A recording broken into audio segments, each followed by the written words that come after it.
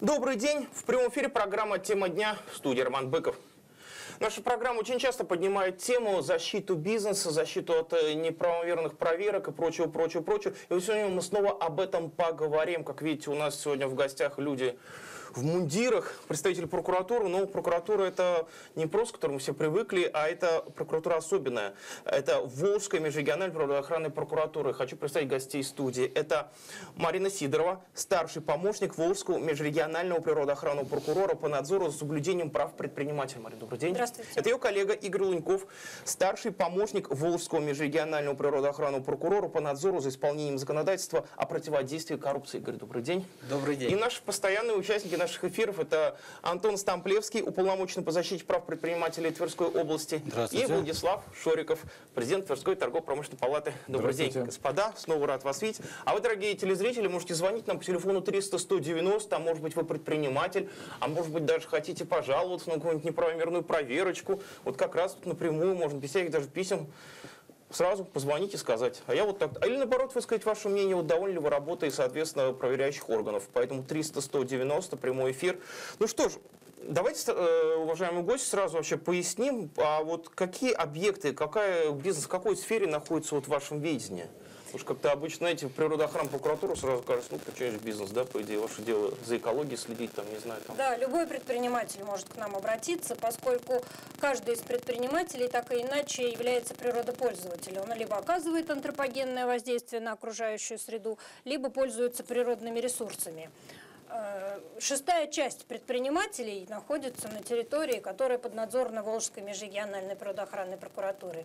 Ну и хочу познакомить э, зрителей с нашей прокуратурой. Э, Волжская прокуратура осуществляет свой, свой надзор в Волжско-Камском бассейне, Волжско-Каспийском бассейне.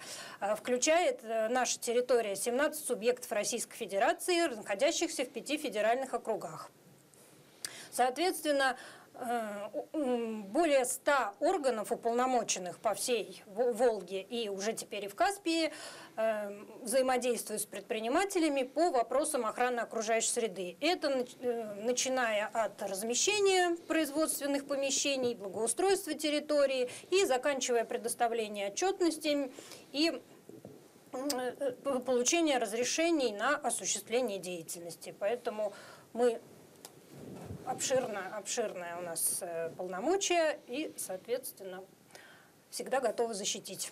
Вообще очень удобно, да, Рома? Э, Что вот из Твери управляется 17 регионов, и предприниматель может... И даже э, Каспий теперь, да? Да, и Каспий обратиться. Вообще, ну, и нам, по крайней мере, в нашей работе помогает. Мы с коллегами давно взаимодействуем, и соглашения заключены у нас, и Институт уполномоченного, и э, деловые сообщества активно участвуют. Здесь очень важно, что можно прийти и обратиться. В Твери непосредственно не надо куда-то там в столицу писать далеко. И Ну, надо... да, тверичанам это удобно. А астраханцам?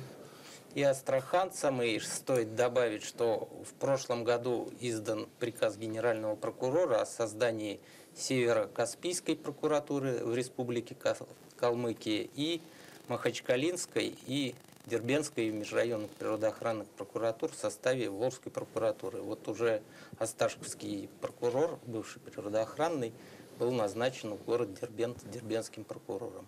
И стоит добавить, что у нас органы поднадзорные – это Росрыболовство, Рослесхоз, Росприроднадзор, Роснедра, Росгидромет, еще много органов власти субъектов федерации, в том числе органов местного самоуправления, к которым обращаются предприниматели. То есть даже синоптики. Росгидромет, да. Да. Мгм.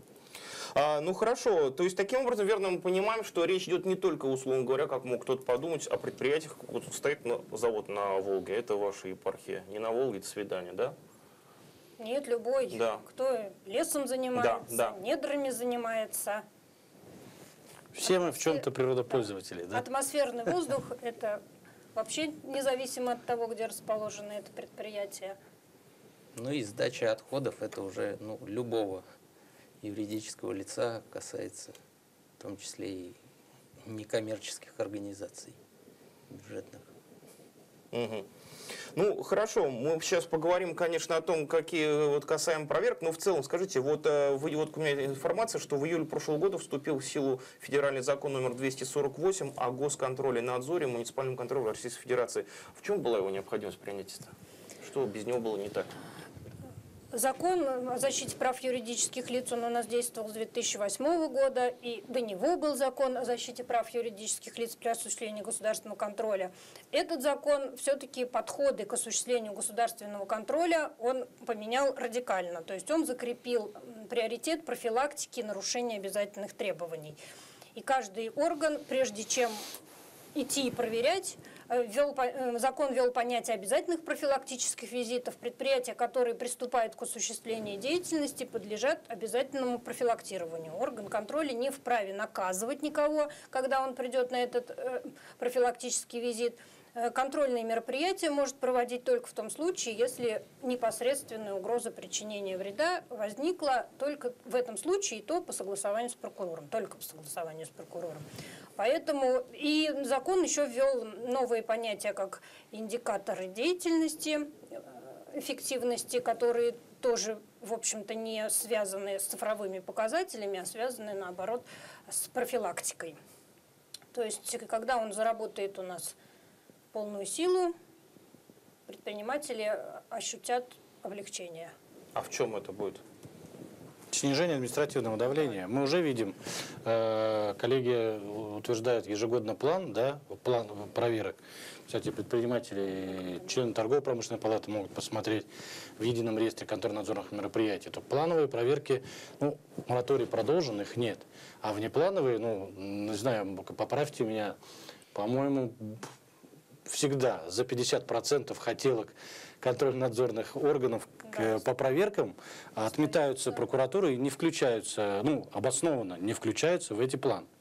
Это важно.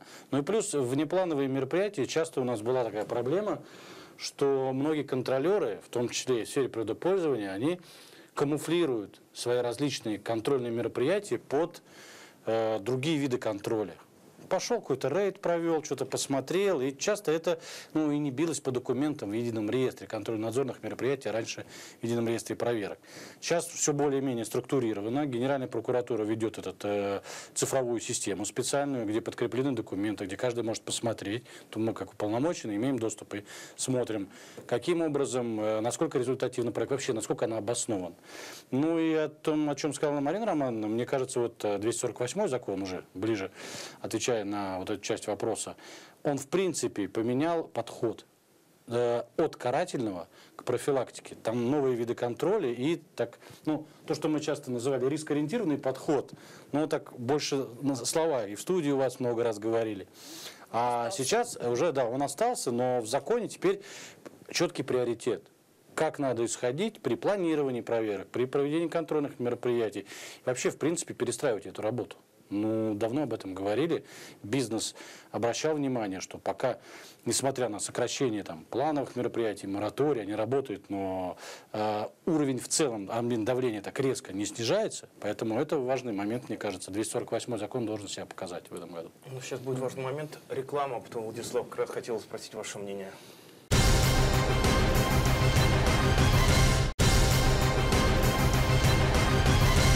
Мы снова в прямом эфире. Программа «Тема дня». У нас сегодня в гостях представитель Волжской природоохранной межрегиональной прокуратуры, а также наши известные тоже резидент, что называется, нашей программы. Это Антон Стамплевский, бизнес-омбудсмен, и Владислав Шориков, президент Тверской торгово-промышленной палаты. Владислав, а вот что говорит предпринимательский корпус по поводу вот этого, этой законодательной новеллы? Ну, новелл там много. Э, про каждую наверное, э, все предприниматели, может быть, и не наслышаны. Да. Но что касается природоохраны прокуратуры и прокуратуры вообще, а, у Торгово-промышленной палаты Российской Федерации есть соответствующие соглашения со всеми этими структурами.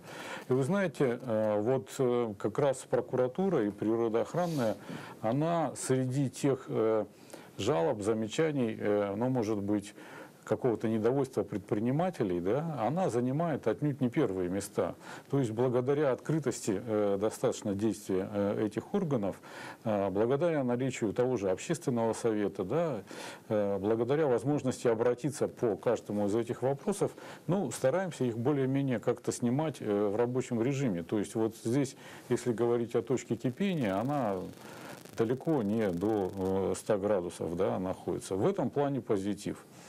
А, Что касается непосредственно деятельности самой прокуратуры природоохранной, но мы прекрасно понимаем, что в нашем регионе, да, где все-таки кроме водных ресурсов еще э, то, что можно называть полезными ископаемыми, как природа, э, э, песчано-гравийная смесь, ее добыча, да, леса и так далее. Все это непосредственно на повседневной деятельности тех отраслей, которые с этим завязаны, оно, э, конечно, сказывается. Но э, вот эта волна э, массового, может быть, относительно такого нигилизма, да, э, которая присутствовала в 90-е годы, я имею в виду правового, Со стороны э, вот, предпринимателей? со стороны предпринимателей, начало 2000 кусочек там, она ведь уходит э, как под давлением э, законодательных э, органов, так и правоохранительных, так и, собственно, осознание и самими предпринимателями, что проще и лучше выполнять эти требования, нежели их нарушать. Единственный вопрос, что каждую вещь можно довести до абсурда, да, как нарушение, так и контроль за их возможным происхождением. Вот э, мы уже чуть-чуть, коллеги, затронули эту тему, когда различные э, проверки, стараясь обойти разрешение прокуратуры, в том числе на их осуществление, маскируются под э, те или иные формы активности, да, это касается и местных органов власти. Не будем скрывать, что периодически, благодаря тем или иным э, связям, пытаются э, пройти со случаями, когда организовывают, ну, скажем так, э, нечестную конкуренцию, да, то есть используя органы э, власти или э, правоохранительные органы с целью давления на конкурентов. Такое тоже встречается и бывает. Но все оно, с точки зрения вот, природоохранной прокуратуры, ее деятельности, не является критическим. Да, то есть везде, где есть люди, всегда есть какие-то недостатки и есть э, ошибки. Э, но э, главное не перейти через определенную грань. Наверное, по природоохранной прокуратуре надо, конечно, смотреть на то взаимодействие, которое организовано непосредственно с муниципальными органами власти, да, с теми, кто работает на местах. Потому что часто административное давление может оказываться не обязательно возбуждением уголовных дел, да, ну, например, административных или каких-то прочих других.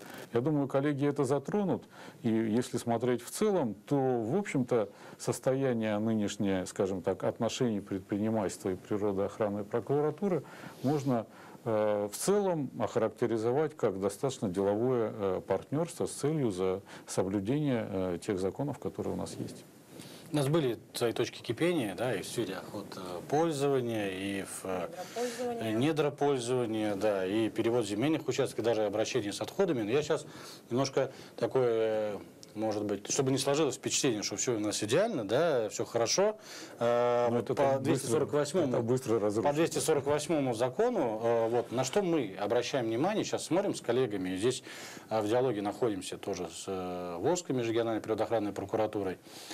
Э, Закон действительно хороший и направлен на профилактику, но так случается часто у нас в стране, когда один закон, ну, скажем так, не меняет норму в другом, в том же кодексе административных правонарушений. А в этом кодексе пока еще, пока мы работаем над этим, э, чтобы этого не было, пока еще написано, что если нарушение было, то за него должна быть ответственность. А часто складывается такая ситуация, и там, в любом деловом сообществе э, орган выявил нарушение, предпринимателю выдал предписание, сказал, устрани. Предприниматель устранил, все сделал, там, инвестировал, заплатил деньги, все мероприятие провел, там, природоохранные, например. А нарушение-то было, значит, надо штрафовать. Получается, в чем смысл тогда профилактики? И вот 248 закон говорит, новый, о том, что если предприниматель устранил в отпущенный ему срок сам, то может и не применяться мера ответственности. Но, как часто у нас написано «но», если это написано в положении о контроле и надзоре.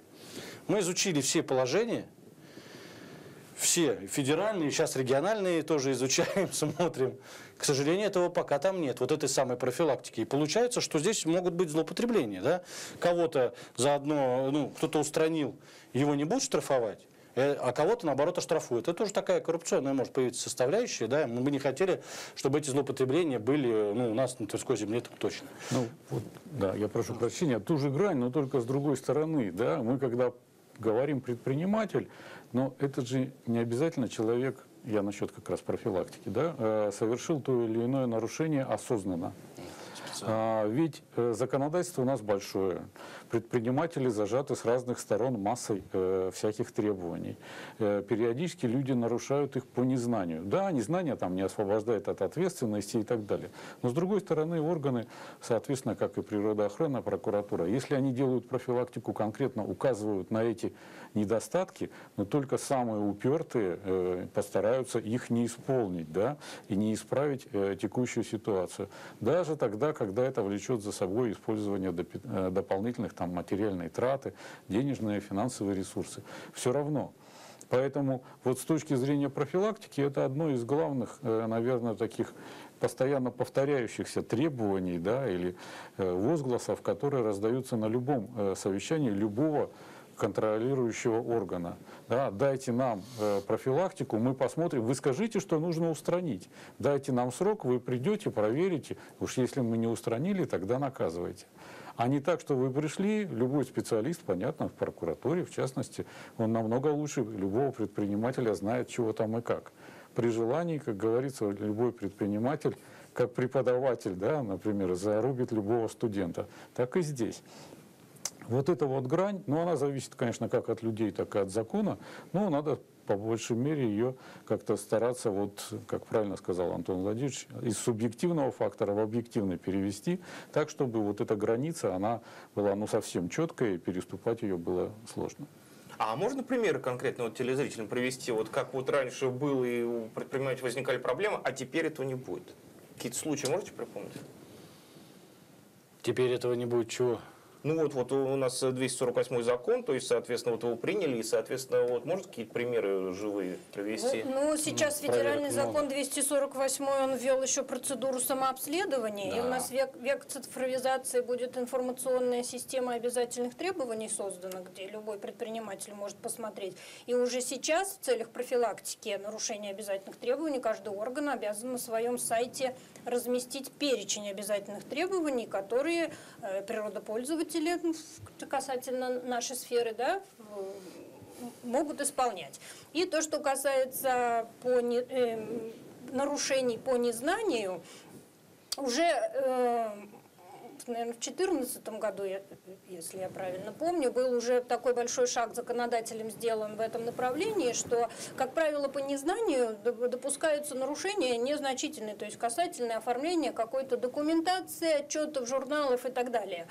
Э, по- Поэтому законодатель ввел такое понятие, как замена административного штрафа на предупреждение. Тоже немножко тяжеловато шло вне- внедрение этой практики. То есть для субъектов малого предпринимательства, которые своим правонарушением не создали угрозу причинения вреда э, каким-то охраняемым законом ценностям, и до этого не привлекались к ответственности за эти правонарушения однородные, они, даже если это статьей КОАПа не предусмотрено назначение наказания в виде штрафа, в виде предупреждения, им вправе орган заменить, даже не вправе, а обязан заменить.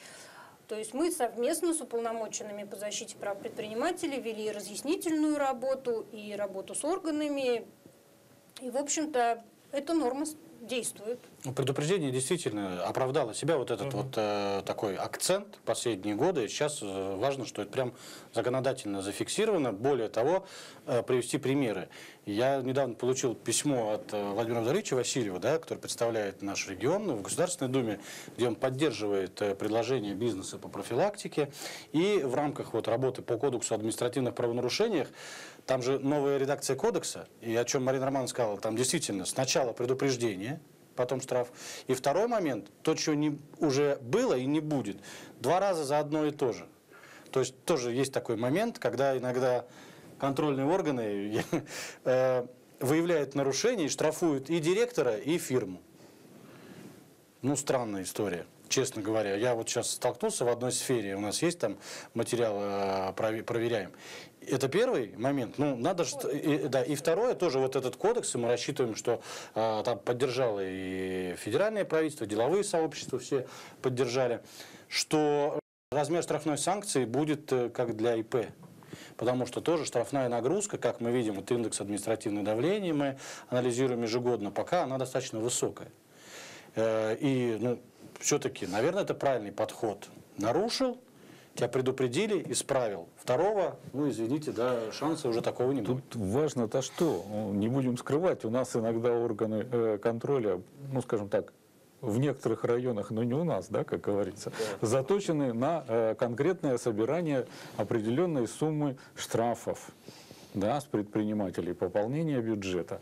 Ну вот я надеюсь, по крайней мере, мы не ощущаем такого со стороны природоохранной прокуратуры, чтобы она была на это заточена. Но коллеги, наверное, сами лучше скажут, есть у них такая система э, или нет. Требуется у вас начальство определенные суммы?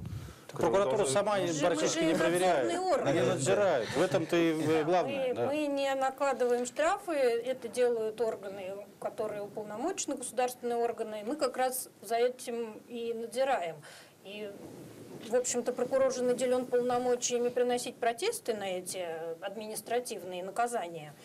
И как раз по факту неприменения вот этой вот статьи по замене для субъектов малого предпринимательства у нас, в общем-то, наработана обширная практика, в том числе и судебная, где орган все-таки, по, по- по нашему мнению, под- и поддерживают судьи, э, применил наказание в виде штрафа, все-таки не посмотрев на статус лица, которого он привлекает, что это для него высокая нагрузка, и он может это устранить без денежных наказаний. Ну, важно очень акцент. Это очень важно, Роман, все-таки, чтобы у нас э, так еще, может быть, с прежних времен для предпринимателей многих сохранилось, что прокурор, вот он проверяет. Вот сейчас я даже для всех э, предпринимателей Тверской области, для наших э, телезрителей, прокурор здесь на стороне предпринимателя, потому что есть специальные показатели даже по защите прав предпринимателей в системе прокуратуры. Может, это для кого-то так странно прозвучит, но тем нас не менее прокурор надзор осуществляет за контролерами. Вот контролеры, да, они контролируют, они выявляют, они штрафуют и так далее. А прокуратура здесь как раз надзирает, чтобы все было по закону сделано в плане проведения проверки. Это очень важный сдерживающий механизм. Важно. Еще когда мы выходим на проверку в госорган, мы смотрим практику органа в целом. То есть мы смотрим, что вот здесь штрафует юридическое лицо должностное, как бы практика как бы одинаковая. А здесь почему-то решили не привлекать вообще никого, либо привлечь только должностное лицо, либо объединяют штрафы, то есть исключение из общего порядка, чтобы выявить, был ли тут сговор с проверяемым лицом на предмет наличия коррупционных проявлений, либо чей-то заказ с другой стороны, чтобы данное юридическое лицо как бы ну, привести к банкротству вплоть до этого даже. То есть, когда мы, ну, бывает проверка, сразу же иногда возникает воп- вопрос у предпринимателя, кто меня заказал. Ну, напрямую говорят, то есть как бы считая, что это идет заказ с конкурирующей стороны. Ну, кстати, в нашей практике встречаются и обратные случаи, когда орган контроля юридическое лицо применяет к нему э, послабление, так скажем, да, накладывает на него предупреждение как ответственность, а вот на должностное лицо, причем даже и не одно, как правило, э, возбуждаются административные дела и за ответственное лицо, и на руководителя, их почему-то наказывают, не принимают во внимание обстоятельства, которые смягчают ответственность. Поэтому на это мы тоже реагируем. В общем-то, зарплата, уровень зарплат не всегда высокий, и каждому конкретному инженеру все-таки это тоже нагрузка идет на него. Ну, не знаю, не знаю. Смотря у кого уровень зарплат невысокий. Руководство, я думаю, как раз, как правило, руководители в нашей стране сами, знаете, себя не обижают никогда. У инженера, согласен, может быть весьма... Все должно быть соразмерно, Роман. Это Вы знаете, соразмерно. вот э, штрафная нагрузка достаточно высокая, я согласен с Мариной Романовной, даже на должностных лиц. Но я всегда вот здесь предлагаю, да, по да. экологическим штрафам, они очень серьезные. Вот Росприроднадзор там, да, там проводит мероприятия. Мы э, на площадке Деловой России в конце года прошлого встречались с руководителем Светланой Родионовой. Там у них такой план на этот год, вы знаете, ого-го. И, ну, есть план, Ну, вот к сожалению. Он есть. Я не говорю про федеральные даже органы, даже про региональные. Вы если откроете бюджет региональный, там, да, то, к сожалению, там, Строка есть. там есть строка Конечно. прям по штрафу. Это неправильно. Вот мы рассчитываем все-таки, чтобы э, и законодатели, нам, да, и исполнительные органы государственной власти при планировании таких документов, государственных программ целевых, бюджетов, они ушли от этой палочной системы. Все, все, другая реальность. Мы все-таки ну, должны жить ну, на каких-то современном уровне уже. В противном случае это получается как дополнительное, ну хотя сам термин, наверное, некорректен, налогообложение для предпринимателя. Да? То есть это закрытая форма собирания еще определенного количества денежных средств. Ну, закрытая, она проблема в чем? Мало того, что она дополнительная, но еще и проблема в том, что ее рассчитать невозможно. Предпринимательский риск тогда, э, соответственно, начинает вот в этой зоне доступности считаться туда-сюда с большим очень коэффициентом возможного сос- составляющей. И, соответственно, ну, честнее было бы тогда уже просто объявить всем. Давайте еще один налог на, ну, условно говоря, на природопользование. На да? Да, Ну, да. в этом смысле- Ну, а, вот. В этом смысле он легче считается, когда и звучит абсурднее. Э, Но вот есть такие вещи. А вот если все-таки какие-то цифры можно назвать? Цифры. Так вздохнули. Да. Ну, осно- основные цифры, которые, которые прокуратура, которыми апеллирует, это количество рассмотренных планов и сколько юридических лиц, сколько объектов контроля из этих планов исключены благодаря нашей работе по их изучению. А, Вот эм, по Волжскому бассейну по 15 субъектов мы планы в этом году формировали, поскольку у нас э, три межрайонные прокуратуры и два субъекта к нам пришли в конце года, и там прокуратуры субъектов рассматривали эти планы. Мы исключили э, 800 объектов Это по региону. по Волжскому И бассейну. вот всего вот этого. Да, это четверть от того, что хотели органы проверить. По Тверской области их достаточно много, около 200. То есть те, ко- которых в плановом порядке не придут проверять. Потому что основная, конечно, нагрузка это плановые проверки. Там всегда что-то находится, выдаются предписания. Эти предписания контролируются потом на протяжении многих лет. А, То есть это вот адми- административный как раз индекс э, формирует вот плановые проверки. То есть м, д- 200 ха- хозяйствующих субъектов э, не увидят в плановом порядке у себя органов это только экологического контроля. Ну вот у нас э, больше всего мы освободили в лесном хозяйстве А от чего? таких, таких лиц от плановых проверок. То есть план- в плановом порядке практически никому органы, осуществляющими лесной контроль, не придут. Потому что там субъекты малого предпринимательства преимущественно. И, соответственно, э, еще новшество этого закона, что рискоориентированный подход у нас распространили на все виды контроля, которые есть в Российской Федерации, ну, в частности, экологического контроля. Э, В, э, в предыдущие периоды это был перечень видов контроля, который определялся правительством, и даже из экологического контроля, то есть он не только экологи- экологический, в экологический контроль входит и за недрами, за водой, за лесом, за атмосферным воздухом, за отходами. То есть это все экологический контроль. Это общее понятие. Земельный контроль – это все общее понятие экологического контроля. То есть из этих видов большого вида контроля рискоориентированные были только два. Сейчас они все рискоориентированы, и, соответственно, маленькие предприятия, которые не оказывают негативного воздействия на природные ресурсы, они, соответственно, э, им присваивается невысокий риск, и, соответственно, их проверяют только вот прям в исключительных случаях. Соответственно, э, это присвоение рисков, это тоже освободило предпринимателей для, от, от лишнего э, посещения контролеров.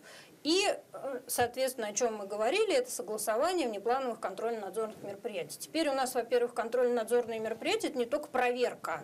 Это может быть еще визит, это может быть тот же рейдовый осмотр, он теперь тоже контрольно-надзорное мероприятие, которое проводится по согласованию с прокурором. А чем визит проверки отличается? Чай попить зашли и все? Ви- Визит – это мероприятие, которое э, минимизирует вообще взаимодействие органа контроля с проверяемым лицом. Он длится всего один рабочий день. Все, больше ни- вправо, ни Да, влево. иногда Только дни пришел продлевать. и больше, и больше, все, больше нельзя. И тут же сразу акт вручил, сразу все проверил, сразу какие-то, если нарушения есть, вручил предписание и сразу составил акт. Все, больше ни- ни- ничего, никаких ни документов с собой не увозит, ничего не делает. Больше одного дня нельзя. И тоже согласовывается с прокурором.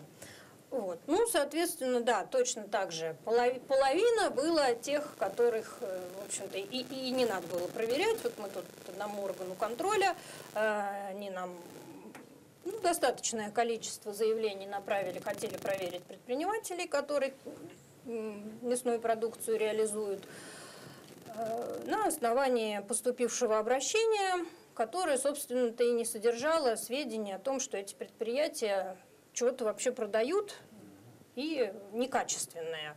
Соответственно, прокуратура не санкционировала такие проверки.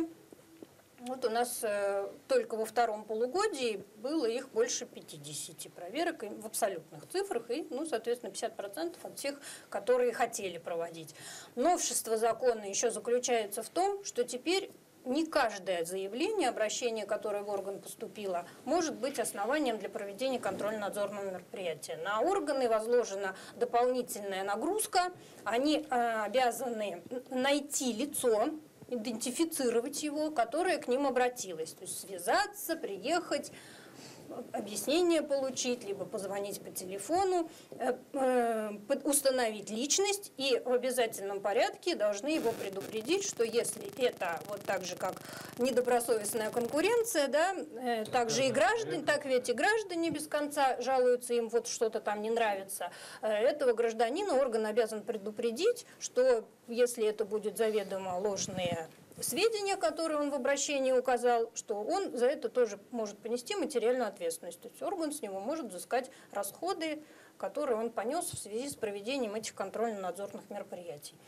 Поэтому вот, вот надеемся, то есть что никаких анонимок. это, это тоже Нет, ну вот это как раз хорошо, это же была классика жанра всегда. Находим лицо, ну, скажем так, с низкой социальной ответственностью, как говорил Который президент, да? подписывает грамотную неизвестно что, жалобу, да. отправляем, и пошла проверка.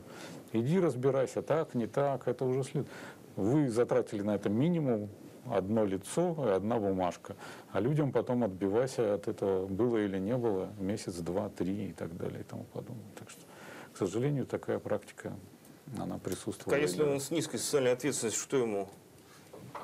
Соответственно, орган, не установив личность лица, которое к нему обратилось, он не может инициировать. Так Он на этом должен основании еще тоже сказать, а в чем его поражены права? Ты написал за жалобу, да? А может, конкретно То есть сначала вы работу с такими людьми проводите? Авторами? Органы, Органы контроля. Да, То есть да. к на орган контроля, к ним поступает обращение. А Первое, что они должны сделать, это найти этого гражданина, который к ним обратился и пожаловался на какой-то хозяйствующий субъект, на индивидуального предпринимателя, на юридическое лицо. Они его должны найти, э, идентифицировать его личность, он должен сказать, да, я вот Иван Иванович, вот, вот мои документы, я, это я писал жалобу, я говорю, что да, вот, безобразничает это, этот товарищ, на которого я жалуюсь. Дальше орган ему говорит, но имейте в виду, если мы там ничего не найдем у этого гражданина, у этого юридического лица, то мы можем и вас привлечь к ответственности, к материальной за эти вопросы. Соответственно, уже часть жалоб уходит. То есть Ну, конечно. задумываются заявители, а стоит ли заказные жалобы А дописать. меньше реально жалоб стало? Вот вы как-то прикидывали вообще? Ну, поскольку э, вот этот новый федеральный закон, м, 248, он теперь защищает не только юридических лиц, как раньше, но и граждан, то, соответственно, конечно, заявлений количество на, о санкционировании и контрольно-надзорных мероприятий увеличилось на порядок, потому что туда добавились еще и граждане, помимо юридических лиц. Поэтому, ну, соответственно, порядок, порядок цифр, он уже немножко другой. Раньше их было значительно меньше. Но, тем не менее, мы не санкционируем. э, И таких у нас э, ну, порядка 30% отказов там, где орган не установил обратившееся лицо, и обратившееся лицо не подтвердило доводы своего обращения. А как с коррупцией быть в этом, в этой части? Да. А здесь сложнее, нет? Мне кажется, Ну, то потому есть, как бы, давление на бизнес в чем заключается? То есть, либо, как говорилось, заказ чей-то, либо сам контролер пытается сказать, мы от вас отстанем, но вот давайте вот заключите с такой организацией договор экологического аудита, там, проведение каких-то анализов, то есть фактически данные услуги что навязывают, да? И оказываться-то не будут. Но мы от вас отстанем, но вы нам ежегодно будете платить там Скрытая месяц форма 30 поборов. тысяч в год, там это уже полмиллиона, и так ежегодно. То есть как бы навязывание услуг, то есть это давление на бизнес раз, то есть сокращение может фонда оплаты труда это на работников, повышение цены производимых товаров, соответственно, и удар по обществу, как бы. То есть коррупция как бы влияет на все стороны. Я еще имел в виду, что ну, многие предприниматели, конечно, рискуют, и если им факты известны, коррупции, ну, скажем, сомневаются там, в вопросах защиты, как им заявить? Вот если по проверкам анонимных нельзя, Да, Как- то как- предприниматели да. могут обратиться. и как, как быть? это не- Посоветуйте не здесь. Да, препятствие. предприниматели, если им факт коррупции, какой алгоритм Ну, э, то есть известен, надо и как пояснить, заявить? что у нас, если даже вы дали взятку, и вы сообщаете о том, что я год назад дал взятку, там, два года назад, то заявитель, как физическое лицо, освобождается от уголовной ответственности. При условии. Да, а если он дал взятку им в интересах юридического лица, чтобы получить лицензию, там, не применили к нему штраф, также будет освобождено юридическое лицо. А если в ходе расследования выявляется факт, то есть человек сообщает, Тогда да, я там. э, сделал, дал взятку, то есть он также будет освобожден от уголовной ответственности при наличии его реальной помощи, но юридическое лицо уже будет привлечено к административной ответственности за дачу взятки от имени в интересах юридического лица, и тут срок давности у нас 6 лет. То есть надо понимать, у нас были такие случаи, то есть выявляется у инспектора один факт дачи взятки, то есть, например, он через сестру получал ее карточку деньги, то есть просто отслеживается, откуда поступали деньги, от каких лиц они отрабатываются, и уже по цепочке правоохранительный орган идет, и, соответственно, уже устанавливает факт взятки, и когда не было предварительного заявления, то уже данных юрлиц у нас были факты, мы привлекали к ответственности, и штраф минимальный 500 тысяч, а так и до миллиона рублей минимум, то есть идут даже мировые судьи на снижение, как бы по минимуму 500 тысяч, но если там свыше миллиона взятка, то она и кратность идет. Поэтому обращаю внимание, что лучше заявлять о фактах взяточничества не только со стороны государственных органов, публичной власти, но и коррупции в частном секторе. То есть надо понимать, у нас есть компании, региональные операторы по обращению с отходами, которые также могут взять какие-то опасные отходы на свой полигон, ну, за дополнительную плату неоформленную, то есть, по сути, за коммерческий подкуп. Либо предприятию надо подключить сети к сетям водоснабжения, водоотведения, то есть те же водоканалы. У нас как бы коммерческие организации, муниципальные, но там также это будет являться коммерческим подкупом. Также это административная ответственность на юридических лиц одинаково распространяется, без разбора органу публичной власти или частный сектор. Было воз- вознаграждение. Ну да, вот интересно, если бы вот Поэтому лучше обратиться в прокуратуру, даже если вы не хотите письменно, позвонить, записаться на прием, и мы принимаем как бы в рабочее время постоянно в любой момент примем сотрудника, либо у нас в межрайонной природоохранной прокуратуре. Все жалобы коррупционные мы как бы сразу берем на контроль. То есть можем дать консультацию, как действовать. То есть не обязательно тут может быть письменное заявление, а как бы проговорить, проработать, чтобы и снять вопрос. Да, как раз на органы прокуратуры это ограничение по установлению личности обратившегося, оно не распространяется. То есть орган прокуратуры обязан рассмотреть любое обращение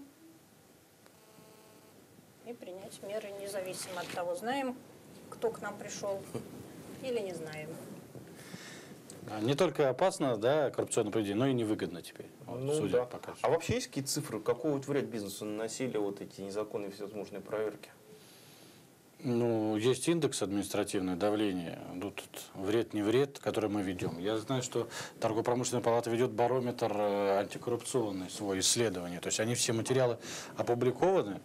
Э, так, ну, так, специальные цифры, конечно, сейчас мы не приведем, потому что начало года, и я думаю, к докладу, Да, и там докладу вопросы- будет выкладка. Вот. Да, опросы все анонимные, поэтому...